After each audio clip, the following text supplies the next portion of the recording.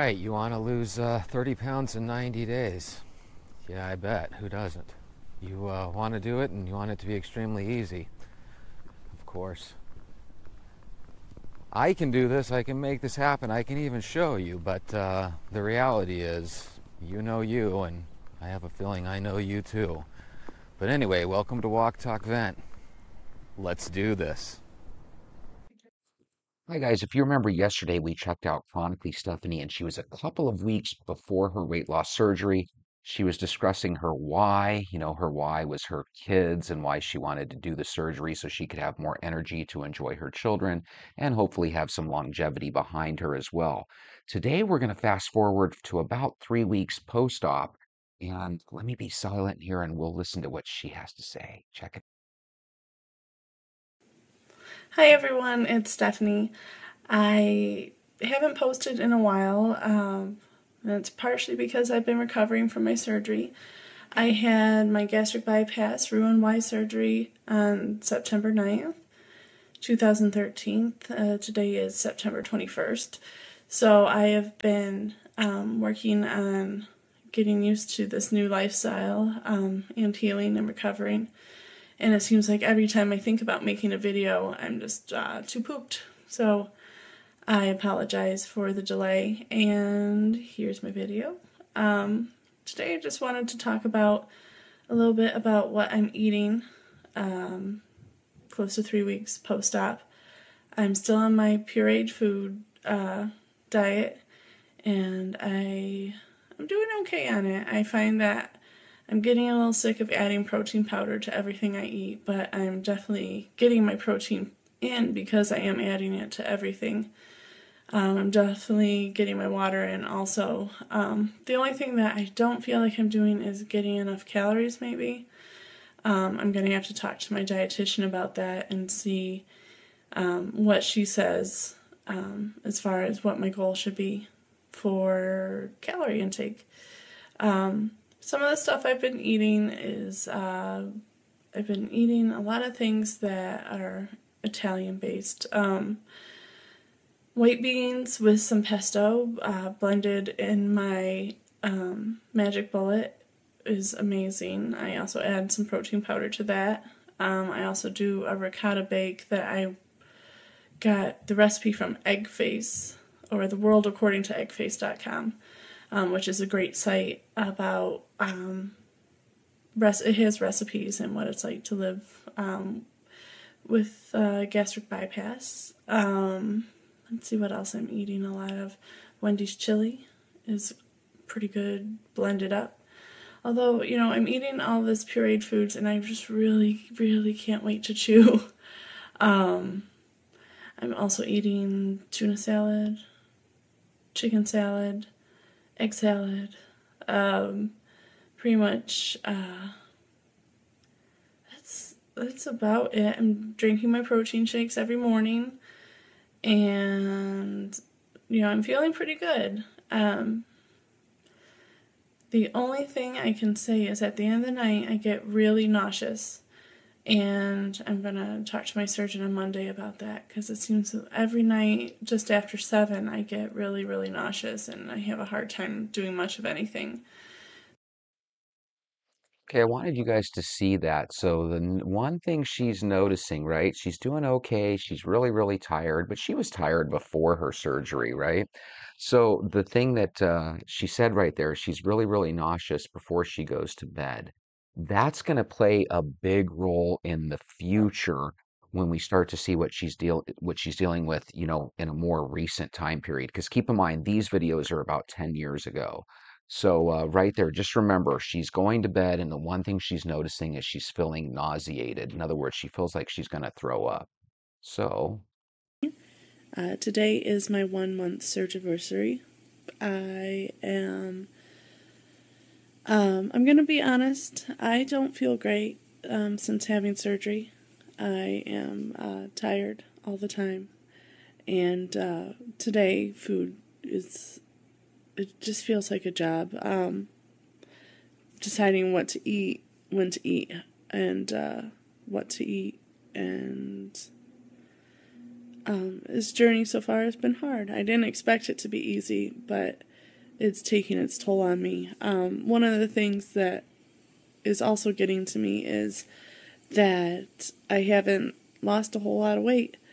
I have lost a total of 14, 15 pounds since surgery in one month. Um, it's hard not to compare uh, all the other success stories um, on YouTube and online. It's just frustrating.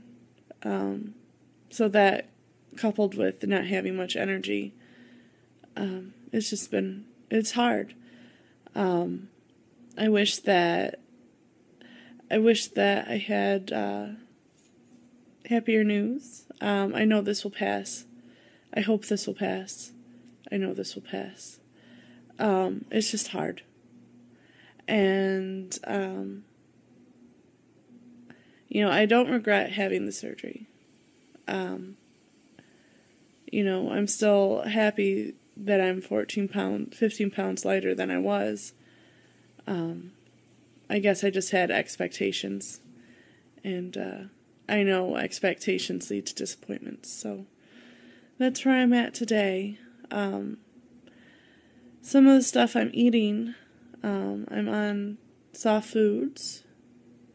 So I eat a lot of cottage cheese and yogurt.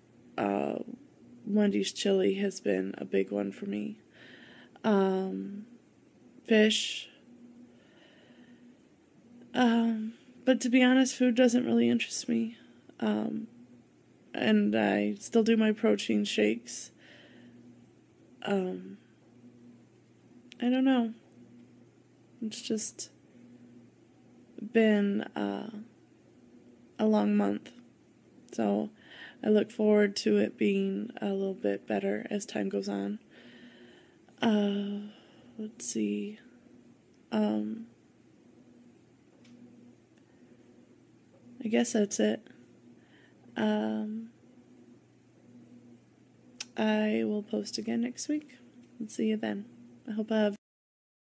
Okay, so as you can see, she's starting to have a couple of issues post-op, nothing major at this point, but in the video before that I was watching that I didn't share, she explained that she was starting to get nausea at the end of the day. And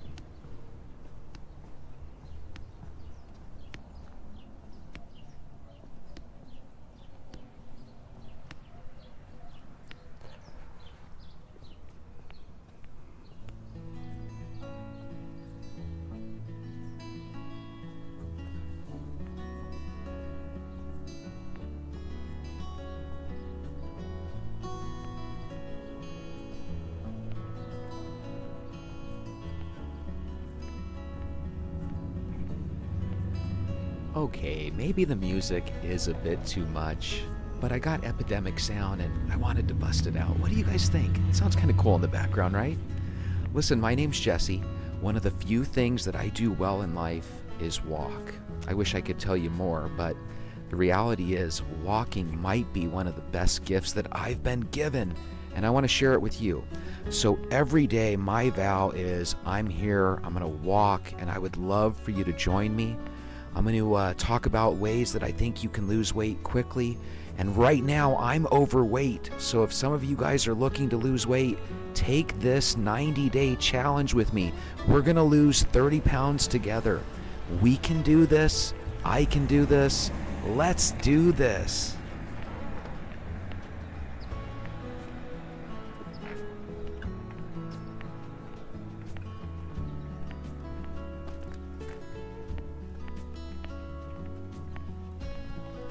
By the way, before I forget, go to Chronically Stephanie's YouTube channel and by all means subscribe to her.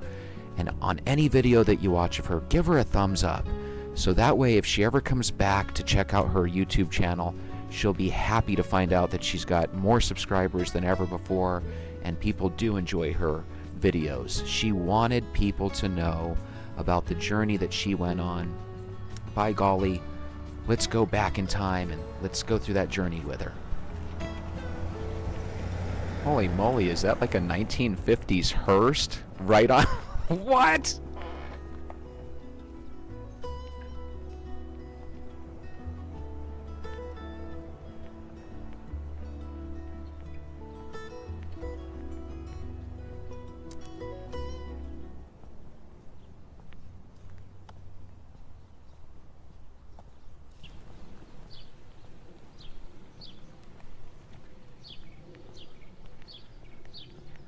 So, I just got off work and I've decided to take a walk home, which is interesting because I work from home.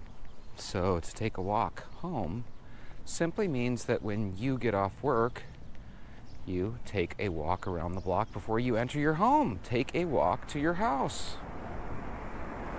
So, today I'd like to talk about Russell Wilson, former quarterback of the Seahawks and the Broncos, who I just read today was picked up by the Pittsburgh Steelers. But don't worry if you're not into sports. I'm not going to talk too much about football, so to speak, but you know, with Russell Wilson, you know, I'm sure at one point he thought he'd be a Seahawk forever.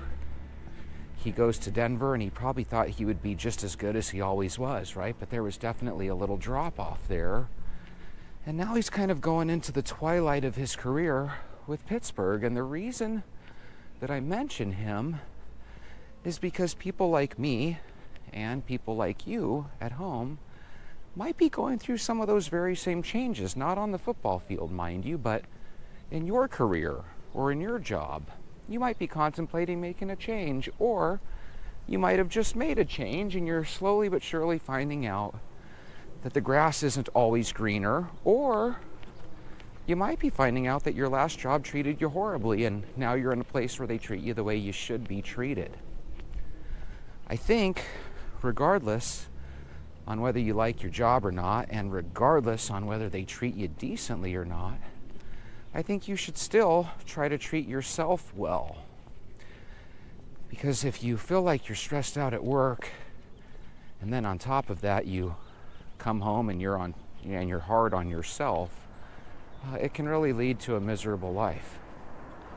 So, if you're listening to me at home and you are constantly beating yourself up, why don't you grab your walking shoes, put them on, get on out the door. You can still listen to me on your phone or your headsets. And why don't you get out and walk with me? I walk every single day and even if I'm ill, I usually end up making up for it by doing what I like to call extra credit. If you already walked in the morning and you find yourself walking in the evening, you're doing extra credit. All you need to do is remind yourself that, hey, every time I walk for half an hour, I'm killing about 150 to 200 calories. And if you can get addicted to walking every day and every night, your body will constantly be in a fat burning or calorie burning mode. And in case this is your first time listening to me, right now yours truly is a little bit over 180 pounds. And uh, for the first time in a long time, I'm so pudgy that uh, I honestly can't fit in about half of my pairs of shorts, and I can't fit into almost all of my chinos. Chinos for you at home, you might call them khakis or whatever, but either way, my semi dress pants, I can't fit into them.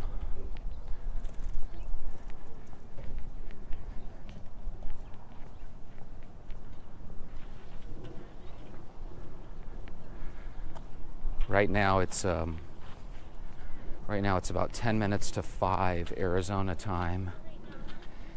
And even though uh, I haven't been walking this late recently, I already knew when I came out that there wouldn't really be too many people outside walking with me.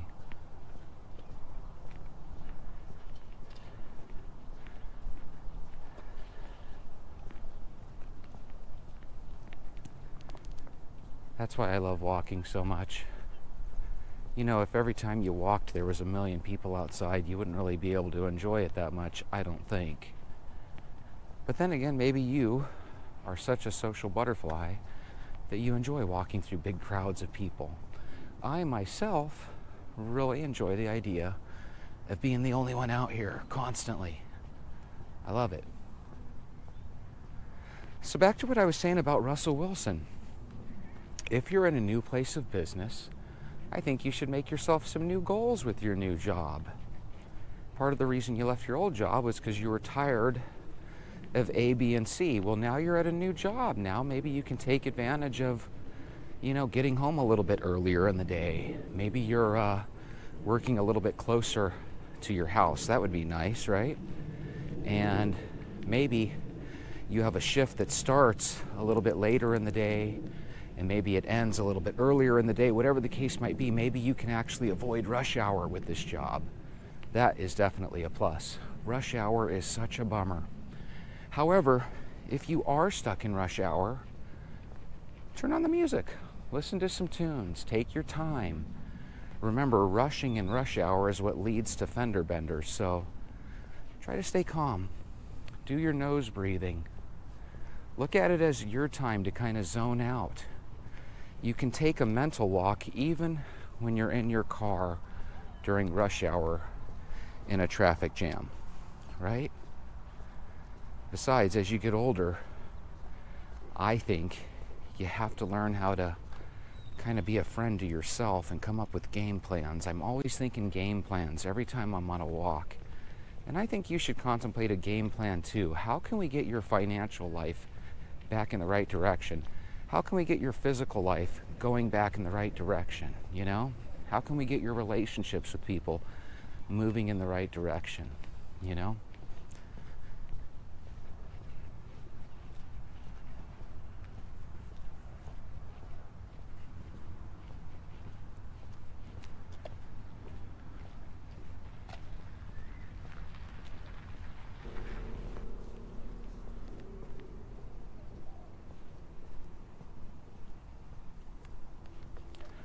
I don't know you guys have been watching these UFO and UAP trials and things that they're doing with Congress and all these different characters like Matt Grusch and different people like that. Russ Coulthart or whatever. Anyway, it's interesting because they always make the aliens sound like they're really us from the future, and it's like if that's what we morph into as time goes by, then oh my god. No wonder we're trying to travel back in time to mate with Earth's women. Could you imagine, as somebody living in 2024, could you imagine if you took a time machine and traveled back, let's say, to the year 1000, just to meet up with the women there and try to get their jeans, get their jeans off? Do you think they were wearing jeans back in 1000, 20, 1300 years ago? Get their genes and, you know, their genes, DNA, and also their pants.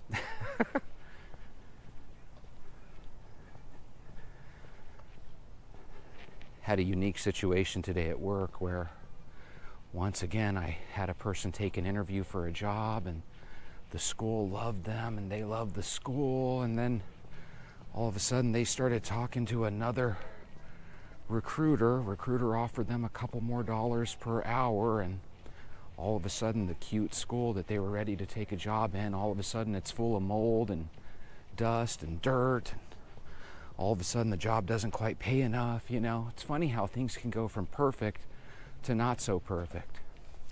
Kind of reminded me when couples split up.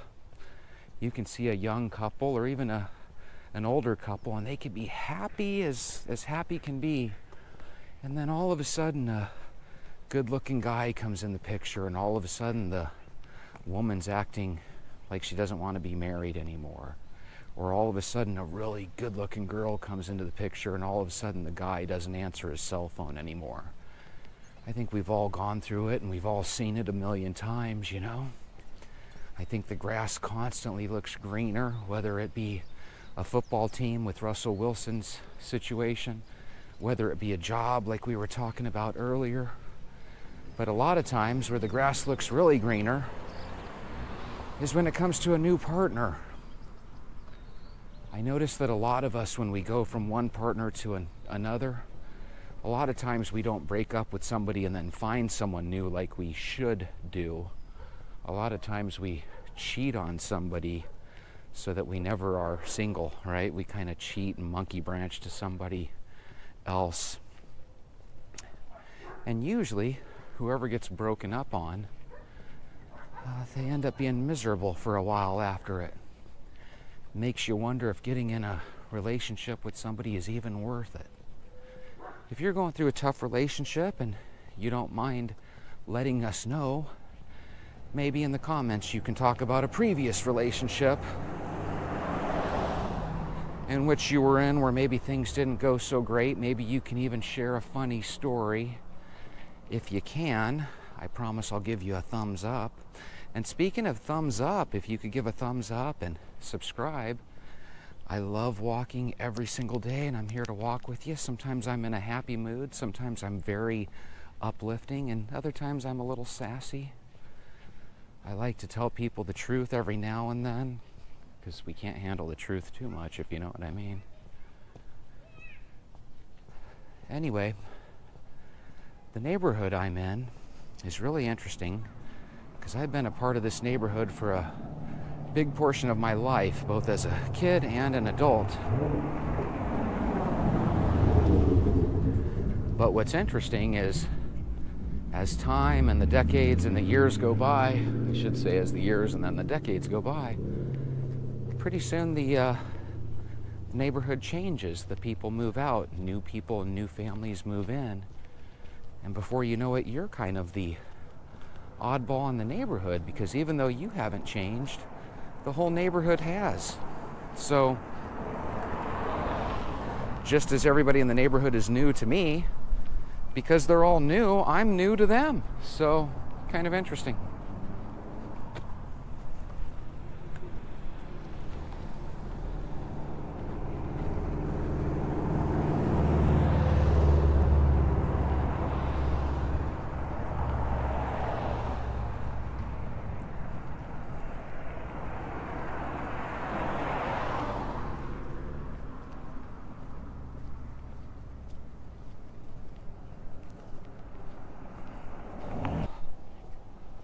One of the reasons that I wanted to start this YouTube channel was because the mother of my daughter, now, mind you, my daughter is a 29 year old mother herself now, but the mother of my daughter, come to find out, went through weight loss surgery, you know, about six, seven, eight months ago.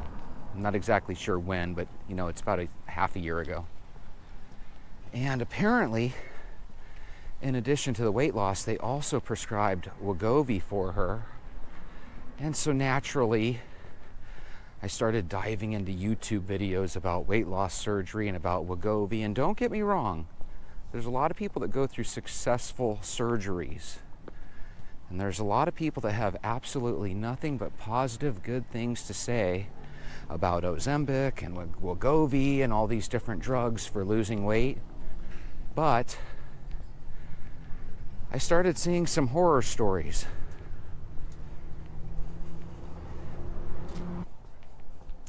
And in these horror stories, they would describe how acid reflux was coming up their esophagus while they were sleeping, or even sometimes while they were just there sitting. And that uh, those acids that would come up would literally start to eat away their teeth. And some of these women and men had perfect teeth, but no longer did.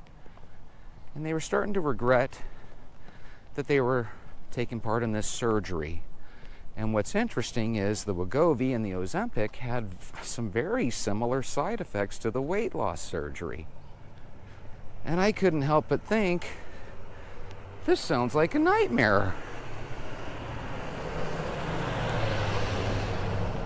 I mean, seriously, guys, think about this. You want to lose weight, and you ultimately want to lose weight for your health, sure.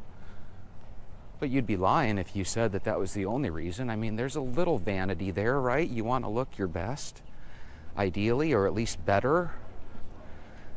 But I mean, at what cost? If you end up losing your teeth, I mean, my God, uh, your smile is such a big part of you, you know? And then some of these people were losing control of their bowels. I mean, God, how embarrassing if you're going number two all over yourself. I mean, the whole idea is just a horrible situation to have to go through. But could you imagine your teeth are bad? You know, you've, you've got, you lose control of your bowels. You have uh, bouts of extreme constipation. followed by bouts of, of incredible diarrhea. I mean, it's just what a nightmare. And that can't be healthy. Anything that tells you that you're full after just eating a bite or two, that can't be good. Come to find out, you can't drink alcohol. Did you know that becoming an alcoholic is actually a potential side effect of the surgery? And I'm being honest when I say that because something with your stomach being like a smaller stomach, it equates to the alcohol going straight through to your intestine. And when that happens, an ounce or two of alcohol could, could literally get you drunk. And alcohol, ideally, should be a slower situation where you slowly get intoxicated. Not so much after the surgery.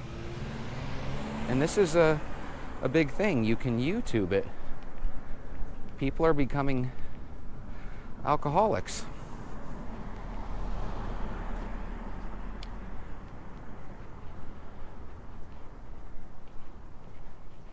Note to self in the afternoon, there definitely is more cars out and about, noisy cars.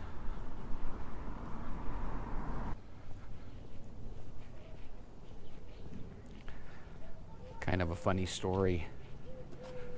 The other day, yesterday I should say, I I'm doing film editing and video editing, I should say, for this channel. And I was like, God, I didn't realize how ugly I was. Felt like when I was younger I was better looking, but uh, yeah, my face is pretty jacked. I apologize, but the reality is you're not here for my face. You're here for my wisdom? Oh, God, that sounds just as goofy. You're here to lose weight. You need someone to walk with you. Walking a lot of times is done in silence, but if you have somebody to walk with you, well, it's a good thing, and that's who I am, and that's what I'm here for.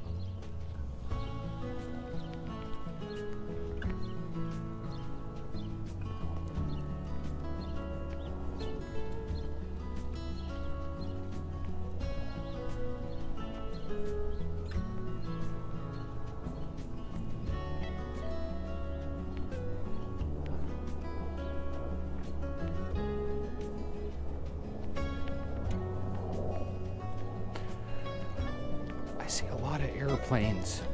I see a ton of airplanes and helicopters when I'm out. I see more airplanes than people usually.